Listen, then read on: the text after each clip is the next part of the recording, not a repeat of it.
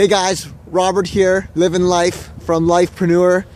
Just want to touch base with you guys here. You know, I was walking in this beautiful snow, and I, am reminded of this uh, this time and moment uh, where I was uh, uh, actually experiencing winter last year, and I think one of the fondest memories of of snow and lots of snow is being able to walk uh, down the road, and you hear this just utter silence because the snow happens to dampen all the uh, all the noise, and it's just it's one of those awesome aha moments or wonderful moments of uh, of sitting back and and um, you know reminiscing about uh, winter and, and, just some of the cool things, magical moments I call them. Magical moments that uh, a lot of people that are going to and from uh, work or they're just too busy, you know, trying to carve a life instead of living life.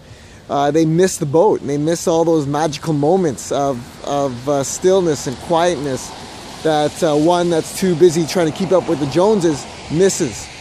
Anyways, I wanted to just to, I just felt compelled to just say that to you guys and and uh, just um, and and and just talk about that. Uh, I just want you guys to just to remember, just to to uh, you know slow down in life. You know, don't try to keep up with the Joneses. Who gives a crap uh, if that person drives that car or this car or that person has that big house and you you know you have like a little shed.